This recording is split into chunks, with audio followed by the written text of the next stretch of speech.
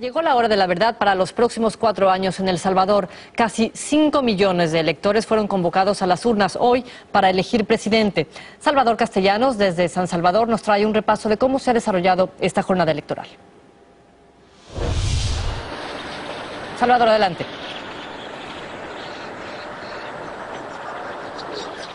Salvador.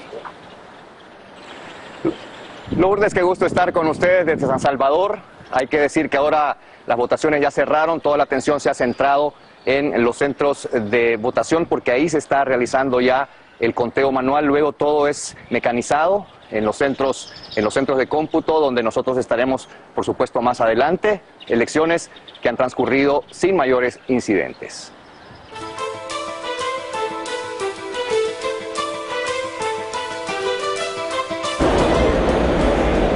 Algunas fallas logísticas y las amenazas de las pandillas no evitaron que los salvadoreños acudieran hoy a las urnas. Estamos cumpliendo con un deber cívico como buen ciudadano, como buen salvadoreño. Con el triple de urnas disponibles gracias al voto residencial, los salvadoreños sufragaron cerca de sus casas y todo indica que lo hicieron masivamente. La última vez que estuvo en las elecciones en El Salvador fue en medio de tiroteo y hoy estamos viéndolas en paz, en tranquilidad.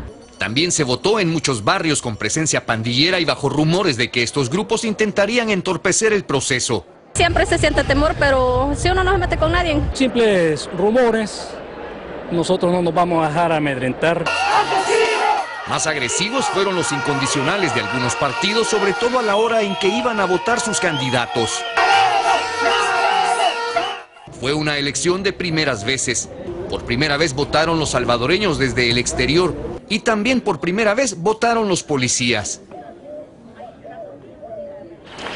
Y los resultados oficiales, según ha dicho el Tribunal Electoral Local, serán a eso de las 10 de la noche, hora local. Resultados todavía preliminares y se espera muy reñidos, por supuesto. Salvador eh, Quijano, ex eh, alcalde y dentista, contra Sánchez Serén, ex líder rebelde, son los dos que puntean. ¿Cómo estuvo el, el ambiente? ¿Hubo arrestos el día de hoy? La Fiscalía General de la República anunciaba hace pocos minutos al menos cinco personas detenidas por delitos electorales menores, la mayoría de ellos, solo en uno de los casos una persona que habría intentado votar en dos ocasiones, pero tranquilas y sin mayores incidentes las votaciones, Lourdes. ¿Cómo se manejó la cuestión de la publicidad días antes de las elecciones?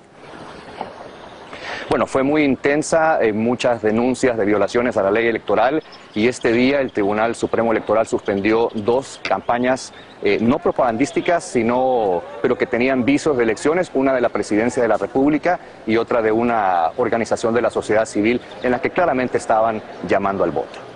Salvador Castellanos, muchas gracias por tu reporte en vivo desde San Salvador. Estaremos atentos.